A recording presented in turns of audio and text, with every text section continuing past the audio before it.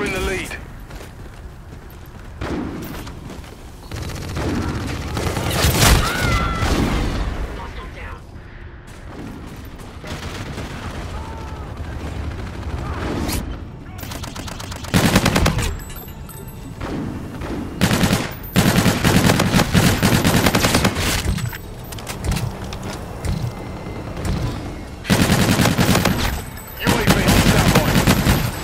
Drone support is active.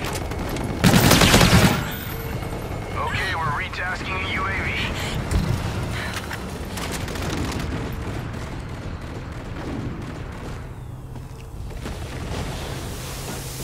Scorchers ready for use.